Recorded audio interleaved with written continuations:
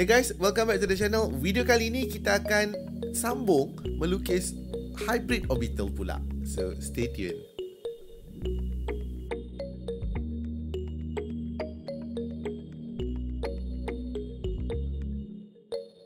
Hai, Assalamualaikum. Welcome back to the channel. Macam dah cakap awal tadi, video kali ini kita akan belajar melukis hybrid orbital. So, dalam video kali ini kita ada beberapa benda lah kita akan cover. So, the aim of this uh, of this video is to teach you to describe the formation of hybrid orbital for SP, SP2, SP3, SP3D and SP3D2 and also kita akan illustrate the hybridization of the central atom by overlapping orbitals of in the molecule. So nampak macam banyak kan? Jangan risau, senang aja benda ni. Kita akan buat step by step. Okay, so step by step in answering hybridization question is very simple. The first one, paling penting mesti lukis Lewis structure. Okay, once you dah lukis Lewis structure, you boleh predict dari molecular geometry. Okay, and then lepas tu kita akan tulis electronic configuration untuk valence electron bagi central atom. Okay, dan kita akan excite electron. Okay, kadang-kadang tak perlu excite. Okay, tengok ada certain cases lah. Finally, apa yang kita akan buat, kita akan hybrid dia accordingly. Nampak macam banyak kan? Don't worry, kita akan buat step by step. Dalam video kali ini, kita akan tengok hybrid untuk dose compound. Kita ada ada 2 4 ada 6 compound yang kita akan discuss one by one. And for your information, video ni akan ada dua part. Okay, this is the first part the first six compound and another video saya akan sambung lagi untuk compound-compound yang pelik sikit. Okay, so why not kita sambung discuss orbital overlapping hybrid orbital for methane dulu. Okay, so we have to start first by uh, calculating the total valence electron. Okay, once kita dah kira total valence electron, kita akan lukis sebenarnya Lewis structure. Okay, so bila kita dah lukis Lewis structure, dari sini kita boleh terus tentukan the type of hybrid dia. How? Okay, to determine the type of hybrid, apa kita buat? Kita calculate number of sigma bond and number of lone pair. Okay, tengok pada carbon. Ada satu, dua, tiga, empat. So, dia ada empat sigma bond, zero lone pair. So, total empat. Bila total 4, the type of hybridization akan jadi SP3. So, kalau tak ingat macam mana benda ni, boleh refer video yang sebelum ni. Okay? So, now, the next thing that we have to do is, we have to write the valence electronic configuration for the carbon. Okay, so at ground state, kita ada 2S2 dan juga 2P2. Dari sini kita tahu bahawa we can only form two covalent bond methane memerlukan empat covalent bond. So apa yang kita perlu buat? Kita perlu excite. Excitation is a process yang mana kita provide energy for this electron daripada 2s untuk excite pergi di empty 2p orbital. So right now kita ada 2s1 2p3. Okay. From here kita ada problem. Energy of the orbital tidak sama. So what we have to do is we have to hybrid Okay, kita nak buat empat sigma bond. That means kita memerlukan empat elektron yang unpaired. So, all of this electron yang dalam 2s dan 2p akan kena hybrid. Bila kita hybrid, kita hybrid 1s dan juga 3p kan. Kita akan hasilkan macam ni. Okay, kita ada 4 equivalent sp3 hybrid orbital. Okay, so this is how we hybrid from here, what we will do is kita akan lukis orbital overlapping. Okay, so step by step ya. So satu. So sp3 bentuk dia adalah tetrahedral. Okay, lepas tu kita lukis uh, H di luar. Okay, dia adalah s orbital. Okay, don't forget electron yang menghasilkan sigma bond. Ini adalah orbital 1s okay sp3 so don't forget to label your hydrogen. Hydrogen. Hydrogen. Another hydrogen. And your carbon di tengah. Dan bond angle dia theta jangan lupa label. Okay so this is how we draw orbital overlapping. Okay SP3 remember balik hari tu bentuk dia tetrahedral so kita tengok pun kita nampak dia macam tetrahedral. So apa dia punya orbital arrangement? Orbital arrangement dia adalah tetrahedral.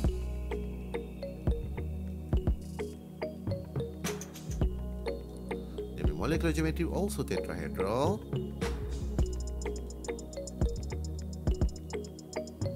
Dia punya bond angle theta is equal to 109 degree. So, why not kita tengok the next one which is water. Untuk water, the total valence electron will be 8. Okay, remember nak buat Lewis structure, kita akan terus kira total valence electron dulu. And from there, kita akan lukis dia Lewis structure.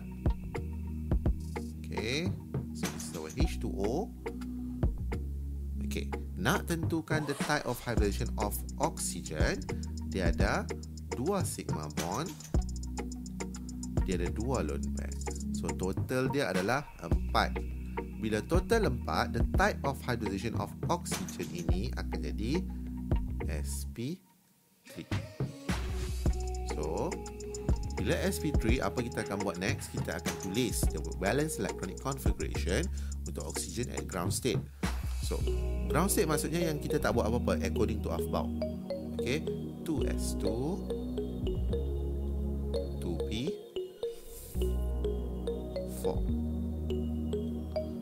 2s2 2p4 kalau kita tengok sini kita memerlukan dua sigma bond mesti dua yang unpaired dan dua lone pair mesti dua yang paired.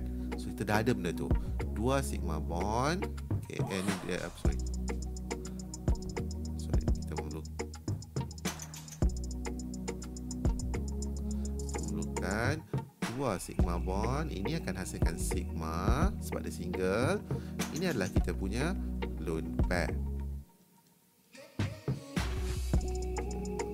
Right. So perlu excite ke tak? The answer is no. If you want to excite, you kena ada tempat kosong. Dan sebab apa you excite? Excitation is not always have to be done. Okay, in this case, we don't need to excite. So, excited state dia pun sama aja macam ground state dia. Which is 2S2 P4 The problem here is the energy of the orbital tidak sama. So what we have to do is kita kena hybrid. Kita combine semua ni. Dia akan jadi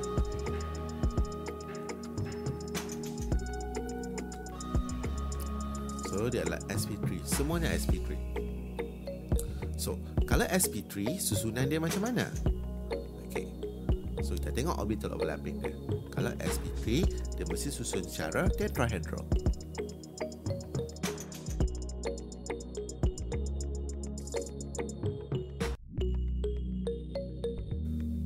Okay, so ini adalah kita punya sigma bond bila kita ada overlap di H dengan O. Okay, dan ini adalah kita punya lone pair. Semua orbital mesti di label, sigma bond kena tulis, bond angle pun kena tunjuk. Okay, so orbital arrangement dia adalah tetrahedral. Okay, as we can see there, dia punya orbital arrangement dia adalah tetrahedral. Tetapi, dia molecular geometry adalah V-shape ataupun band. Bond angle, theta, theta will be less than 109.5 but you know untuk water is equal to 104.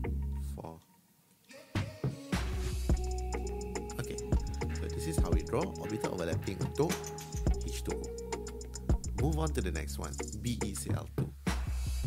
BeCl2, okay, the Lewis structure is like this. Okay, so number of sigma bond dia ada dua, number of lone pair ada kosong, so total dia adalah dua. Bila dua, type of hybrid dia adalah SP hybrid. Dan di terminal ni pun kita boleh tentukan type of hybrid dia. Kita ada satu sigma dan tiga lone pair. Total empat dia akan jadi SP3. So ini pun SP3. It is very important for you to determine the type of hybrid first before you buat apa benda yang lain. So, beryllium at ground state, the electronic configuration will be Kalau di sini dia tak boleh buat apa-apa bonding. Okay, dia tak boleh buat apa-apa because kita cuma ada dua elektron yang sudah pack. So what we have to do is kita kena singlekan dia. Okay, bila kita single, that means kita kena excite dia. So kita akan excite dia daripada 2s1 to p1. But now energy tak sama. So apa kita perlu buat? Kita perlu hybridkan dia. So bila kita nak hybridkan dia, dia akan jadi sp hybrid ini akan jadi MT2P orbitals. Now, kita nak lukis orbital overlapping untuk SP hybrid. How?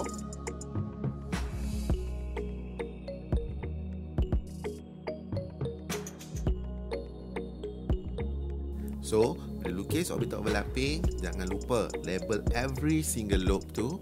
Okay, dan juga label sigma, tunjuk bond angle dan juga label element. Okay, so uh, untuk terminal, untuk chlorine tu, you boleh juga tidak hybrid. That means you guna pure p orbital. Okay, tapi untuk memudahkan kamu, better you just hybrid je sebab sama je konsep dia. Okay. So, orbital arrangement dia adalah linear. Dia punya molecular geometry also linear. And then dia punya angle theta is equal to 180 degree. BH3. Untuk BH3, the Lewis structure will be like this. Okay. So number of sigma bond on boron is 3. Number of lone pair on boron is 0. So the type of hybrid is sp2. So boron punya valence electronic configuration at ground state akan jadi 2s2 to p1. Tetapi kita nak buat 3 covalent bond. So di sini 3 single. Bila kita nak 3 single, apa yang kita akan buat adalah kita akan excite dia. Okay.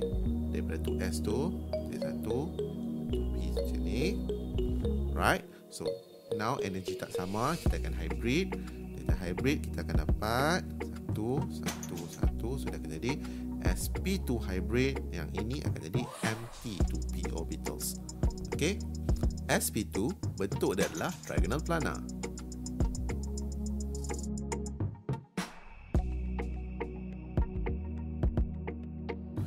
So, ini adalah dia punya orbital overlapping. So, kita tengok dia punya orbital arrangement dalam bentuk trigonal planar. Dia punya molecular geometry also trigonal planar. And then, dia punya bond angle, theta, is equal to 120 degree. Right, kita teruskan the next one with PCl5. Untuk PCl5, this is the Lewis structure.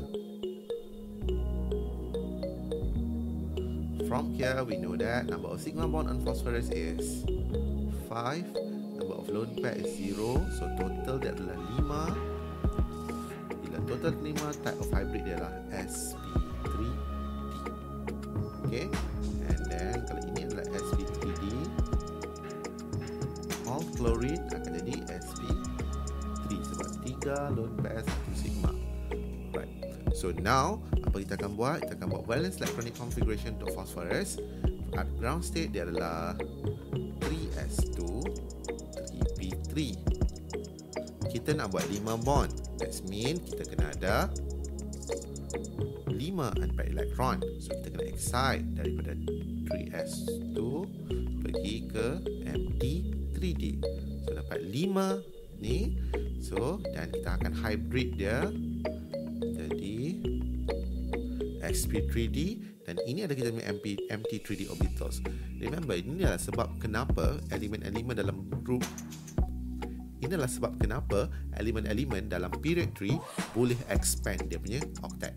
So this is because we have MTD orbital tu yang boleh menyebabkan kita boleh excite electron there. Right. So now kita akan lukis orbital overlapping untuk PCl5.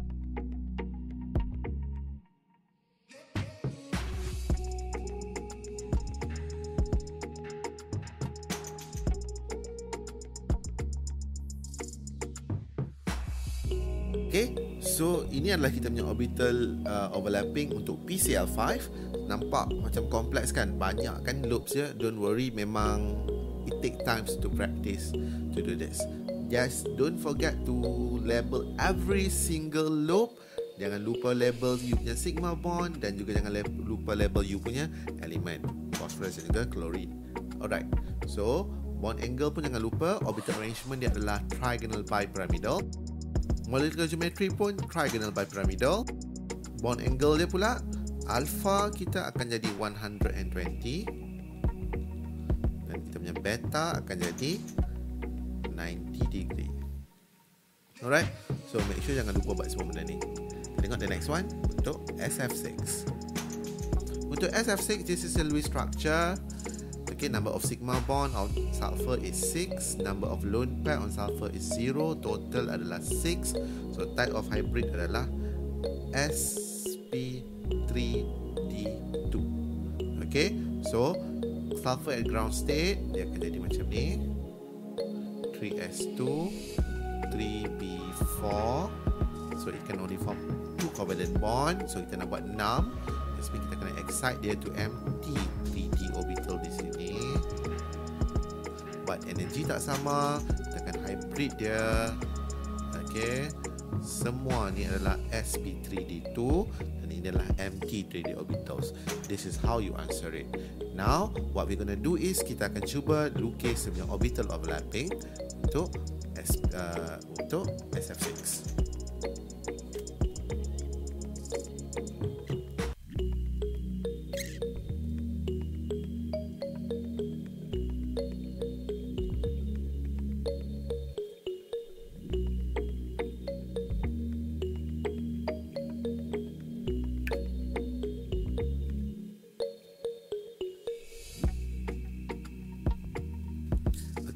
so ini adalah orbital overlapping untuk SF6. As you can see here, macam bunga sikit dia punya shape tu. Okay, so now orbital arrangement dia adalah octahedral. Dia punya molecular geometry also octahedral. And theta dia akan jadi equal to 90 degree. So, nampak terlalu banyak guys sebenarnya. Tapi benda ni memang kena practice. Remember if you know how to draw the Lewis structure if you know how to determine the type of hybrid it will come easier to you. Okay? Konsep molecular geometry yang kita belajar sebelum ni pun apply di sini. Okay? So I really hope you take your time try to comprehend this video try to do a lot of practice. Okay? That's all for this video. Don't forget kalau nak belajar kenalah rajin berusaha That's all. Assalamualaikum. See you next time. Bye.